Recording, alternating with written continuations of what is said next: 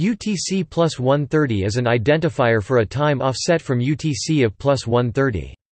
It is no longer in use. It was used by the then governments of the Orange Free State, Transvaal and the Cape Colony from 1892 to 1903 in what is now South Africa. This time was also used briefly by the former German South West Africa present-day Namibia.